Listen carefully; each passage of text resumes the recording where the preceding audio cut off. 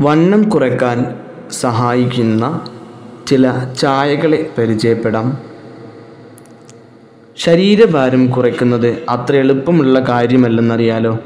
ശരീരഭാരം കുറയ്ക്കുന്നതിന് അർപ്പണബോധവും സമയവും ക്ഷമയും കഠിനാധ്വാനവും ആവശ്യമാണ്. മോശം ഭക്ഷണക്രമം വ്യായാമത്തിന്റെ അഭാവം ചില മരുന്നുകളുടെ ഉപയോഗം ആരോഗ്യ പ്രശ്നങ്ങൾ എന്നിവയെല്ലാം ഒരാളുടെ ഭാരം വർദ്ധിക്കാൻ കാരണമാകും. വണ്ണം കുറയ്ക്കാൻ ഇന്ന് നാം പല വഴികളും പരീക്ഷിക്കാറുണ്ട്. ചിലത് ഫലപ്രദമാകാം എന്നാൽ ചിലത് ഫലമുണ്ടാവുകയുമില്ല.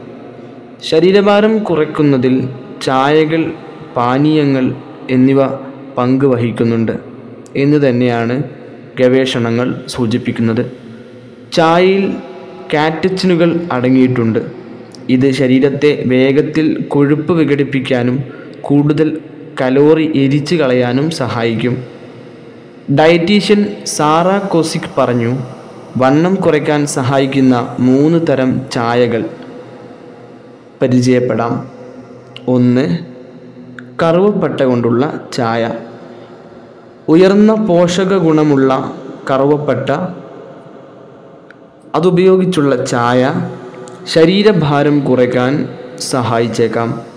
കറുവപ്പട്ട ചായ ഉപാപചയ പ്രവർത്തനത്തെ വർദ്ധിപ്പിക്കുകയും കൊളസ്ട്രോൾ നിലയും രക്തത്തിലെ പഞ്ചസാരയുടെ അളവും നിയന്ത്രിക്കുകയും ചെയ്യും. ഇതിലെ ആന്റി ഇൻഫ്ലമേറ്ററി ഗുണങ്ങൾ വയറുവീർക്കുന്നത് ഒഴിവാക്കിത്തരും. രണ്ടാമത്തത് ഗ്രീൻ ടീ ആണ്.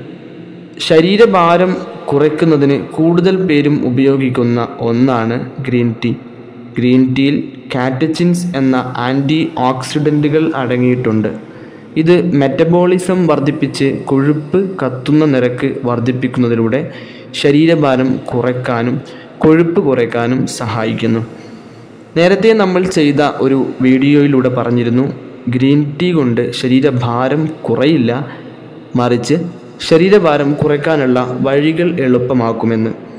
അതുതന്നെയാണ് ഇവിടെയും പറഞ്ഞത്. കൊഴുപ്പിന് അടിഞ്ഞുകൂടാനുള്ള അവസരങ്ങൾ ഇല്ലാതാക്കുകയും കൊഴുപ്പ് നശിപ്പിക്കാൻ വേണ്ടി ശരീരത്തെ പ്രാപ്തപ്പെടുത്തുകയും ചെയ്യുന്ന ഒന്നാണ് ഗ്രീൻ ടീ എന്നുള്ളത്. മൂന്നാമത്തത് കട്ടൻ കാപ്പി. പഞ്ചസാര ചേർക്കാത്ത ഒരു കപ്പ് ചൂട് കട്ടൻ കാപ്പി രാവിലെ കഴിക്കുന്നത് ശരീരത്തിൽ നിന്ന് കൊഴുപ്പ് കുറയ്ക്കാൻ സഹായകമാണ്.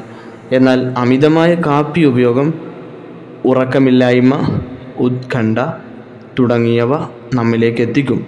അത്തരം ചില പ്രശ്നങ്ങളിലേക്ക് നയിക്കും. അതുകൊണ്ട് അമിതമാവരുത് കാപ്പി ആയാലും ഗ്രീൻ ടീ ആയാലും ഒന്നും അമിതമാവരുത്.